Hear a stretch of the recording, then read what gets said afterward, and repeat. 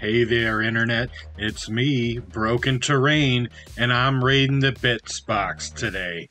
Just kidding. I'm using the whole darn sprue, and I'm going to show you how I made these catwalks with sprues and all kinds of random gobbledygook right after the drop.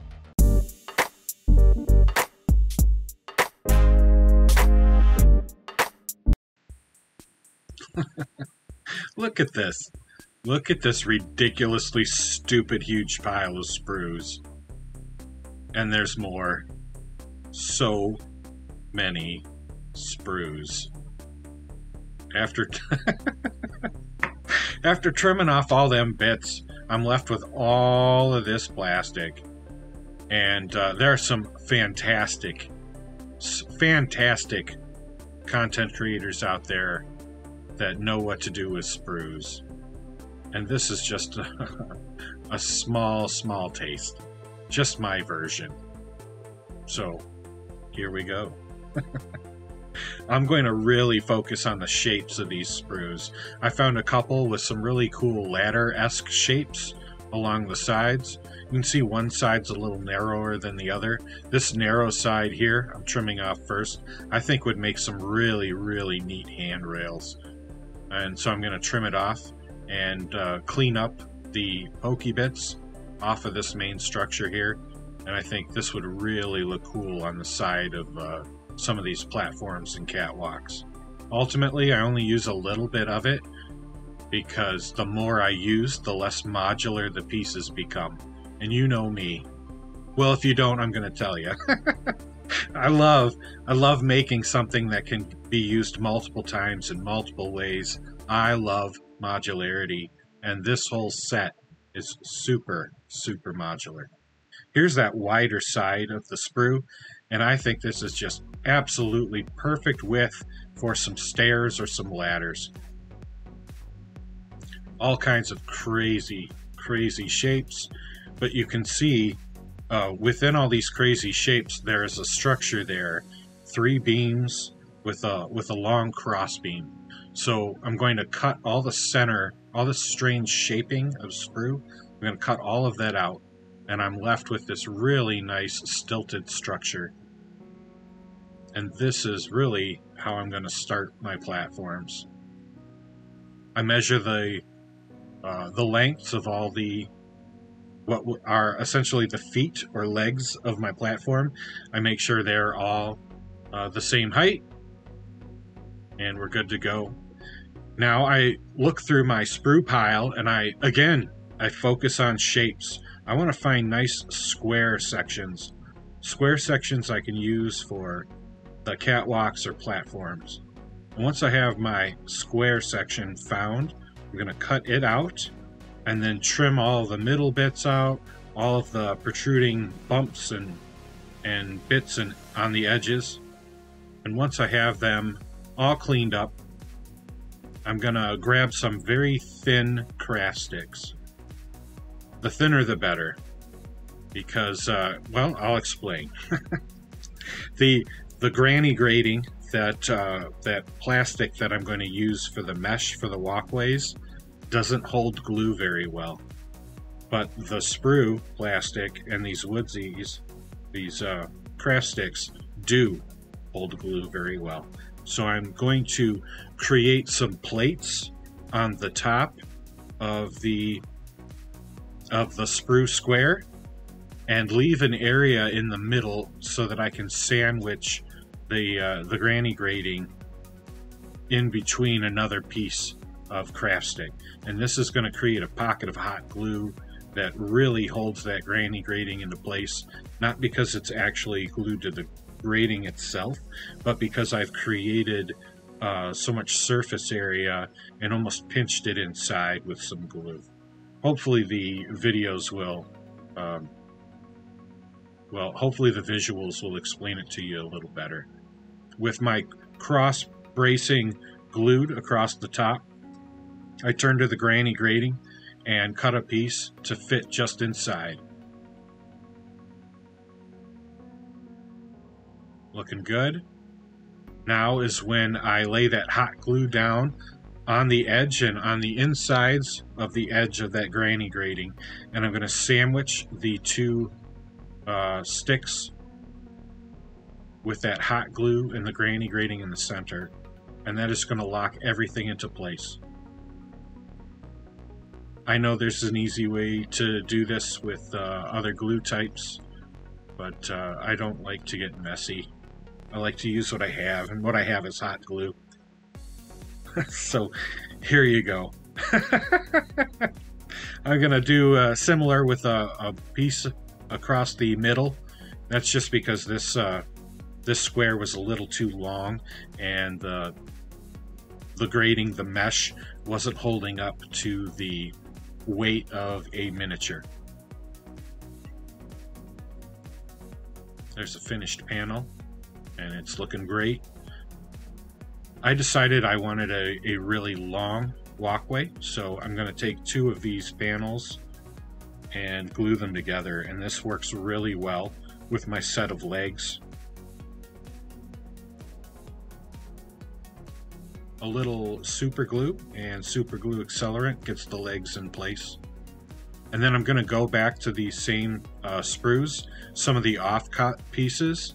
I'm going to use the offcut pieces to uh, glue in bracings, and that's just going to keep everything standing up uh, straight and 90 degrees and giving the piece some structure.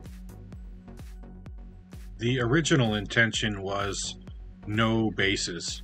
I wanted just the catwalks, and that way I could put them down on whatever kind of board I had for them, and I could use them in anything. However, they proved to just be a little too structurally unsure, and so later on I will decide that they do in fact need to be based. Here's a set of stairs I was working on. Ultimately, I did two sets of stairs. I would have loved to have done more, but this was incredibly frustrating to make. The the piece that I hoped would uh, make it easy really didn't. it didn't make it easy.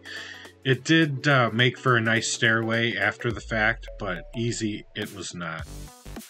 Here's that piece I was talking about, trimmed off of the edge of that uh, first sprue, and I glue it on an angle, uh, the height of which matches the other walkways. Add some bracing, much like I did the other walkways, the real issue was coming up with some set of stair or step.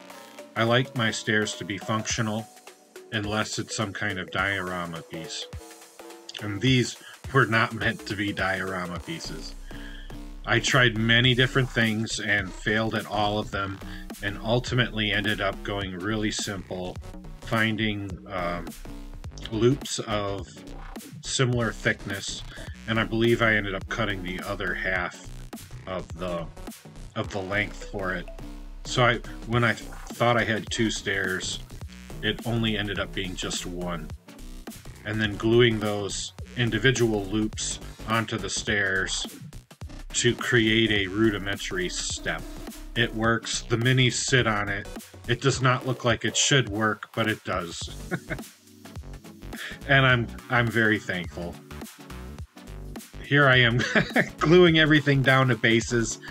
They were just too flimsy. The legs were cracking. The they were breaking from the supports, and it was clear to me that everything needed to just be squared up and glued down nice and proper on some basing. So I went with some thin but sturdy uh, cardstock.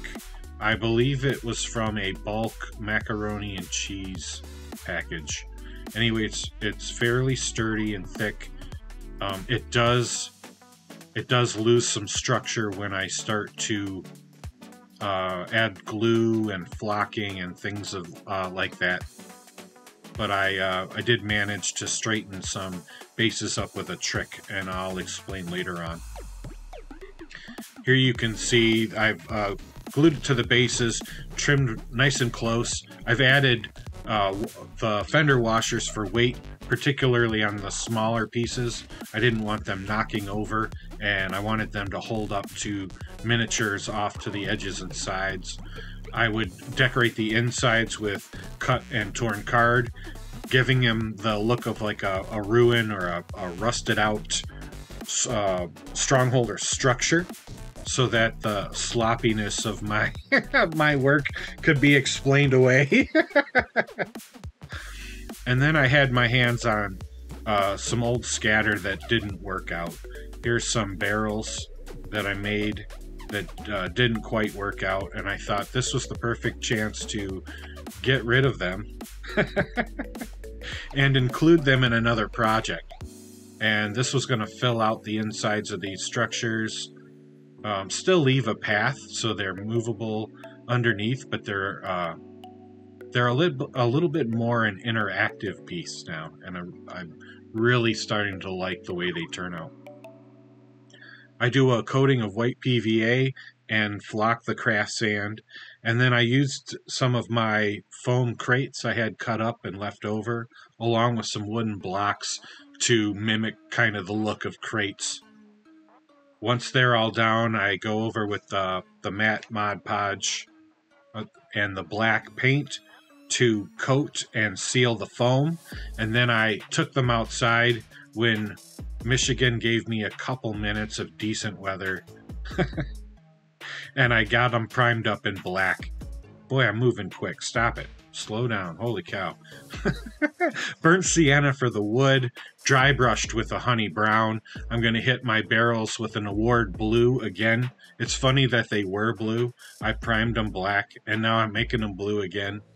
This citron green I got on sale and when I pulled it out and started painting it, it mimics the Army Painter slime really well. If you want a cheap slime, that citron green is amazing. I ran out of gunmetal. Sterling silver it is. Let's do it up. Uh, dry brush the uh, bars and the grating. Uh, make make sure I paint the panels well. Here's the dry brush of honey brown on the wood. And uh, at the oh, I hit the groundwork with the Mississippi mud at one point, and I'm not liking these pieces right now. I am not liking them. I don't want to flock them, which would normally clean up some of that uh, that ground issue. Here I am dry brushing the barrels with that same sterling silver that works dynamite. Those barrels look fantastic after that metallic dry brush. So here's, uh, this went a long way to fixing this ground cover, is my black wash. I just smother it, darken everything up with that black wash. Now I mentioned the groundwork curling. You can see on the very edge of this piece, I have glued down another length of sprue to force the ground straight that was super effective in repairing the uh, the curling on the edges of these pieces. I certainly couldn't do it to all sides because I wanted certain sides to be passable. But on those sides when I could, I glued that length down and it really did flatten those bases out. So if you have a similar situation happening, I find that uh, that really helped me out. But uh, that was this particular project. I don't know if you've got something that lines up exactly, but you never know. I wanted to, the bases still look like a mess. so I wanted to flock them a bit, but not with like a full on grass, like uh, spattering of weeds and clumps. But I am desperately low on clumps. that that sounds crazy out of context. Anyway, I'm low on clumps, and uh, I decide to make a few. So I, I take my rope, cut it, cut it into little lengths, and then glue bundles of three, uh, three strands of, of different lengths. I hot glue that down on a parchment paper, and you can pull it up, rough and pull those strands apart, and then glue it down, and it makes a, a fairly, fairly passable clump. Not bad. I stick it in between some of the really rough areas. And then I take what few little uh, little clumps I have from the store. And boy, they look a whole lot better than what I've made. Well, maybe not better, just different. Right? and you can see one of mine with one of theirs, and it looks fantastic. And so I just start dropping those all over the piece, looking to fix that groundwork. And uh, I'm pretty happy with what I pulled off. These aren't going to win any awards, but they're very playable. They're super modular, and they don't look too bad after uh, after that wash muddied up the ground. And then I got it in my head, let's do some rust. I don't want to use my good expensive paints, so let's see what I can do with just a simple paint effect. So I hit my chestnut brown, my apple barrel chestnut brown, and I just start uh, dabbing it along the edges and where any of those bullet holes are that I put in some of those panels. I put it around the rivets and on the top bits and pieces, and I really start to like the way it looks. And I really start selling myself on these pieces now. I go a little crazy. I go a little crazy with the chestnut brown, and I lay it on uh, pretty thick. And then I go back in with Apple Barrel's Harvest Orange, and you're going to uh, tip tap the middle bits of your chestnut brown areas. And this is going to give your rust uh, a bit of dimension. It's going to look a lot worse in certain places and then fade out to that brown and you can see I have gone nuts. It's all over the place. But boy, oh boy, when it's done, I love it. Uh, I wasn't sure about this project midway through, but I'm really happy with how it turned out, and I think it makes an absolute killer addition to my small batch of sci-fi terrain. What do you think? Do you like it? Let me know in the comments. If you do like it and you like this video, smash that like button, please. It would really help me out. You want to see more videos like this, hit that subscribe button. Do you feel like uh, I've earned myself a coffee as a nice thank you? I would really appreciate you smashing that super thanks button.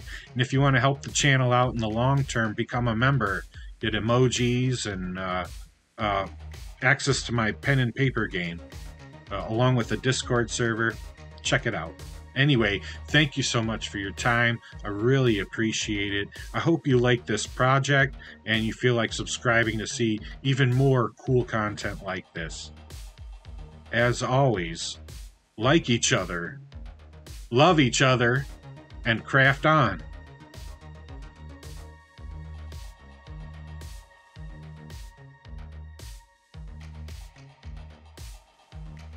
There he is, fitting right in there. Avoid that slime. Don't get in that slime. Ooh, he's gonna try and pass on this side. No! You step in the slime! You step in the slime, you're gonna die!